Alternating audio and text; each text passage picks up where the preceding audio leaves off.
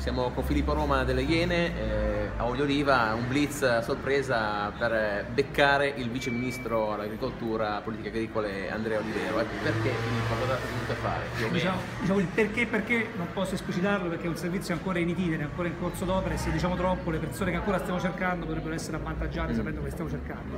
Comunque una questione che riguarda il Jobs Act, una questione che riguarda il lavoro e in particolare una vicenda accaduta nel suo gruppo al Senato, cioè al gruppo dove partecipa anche lui. Hai moralizzato dunque in qualche modo? L'ho moralizzato, però devo dire la verità che è raro trovare dei politici abbastanza disponibili a fermarsi e a parlare, quindi eh, se non altro chapeau per la sua disponibilità nel fermarsi e a fare due ragionamenti su un tema di interesse pubblico, cosa che accade raramente con gli altri politici.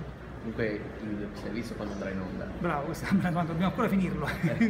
Sa ancora. diciamo che se tutto va bene, non il prossimo lunedì ma quello successivo.